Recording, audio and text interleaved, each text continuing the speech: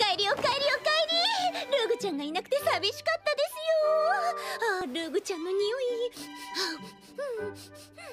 そういうのは人目のないところで。